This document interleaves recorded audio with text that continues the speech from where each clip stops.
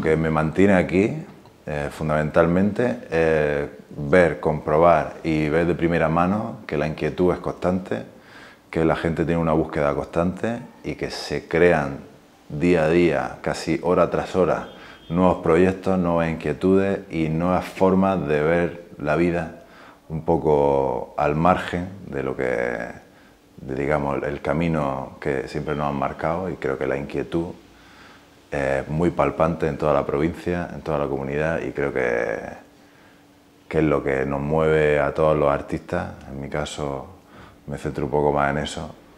a, seguir manteniéndonos aquí, a seguir luchando por, por crear una, una, una, comunidad mucho más grande, basándonos siempre en la búsqueda, en la inquietud y en salirnos un poco de la regla. Y creo que aquí es el sitio en el que, en el que está más palpante.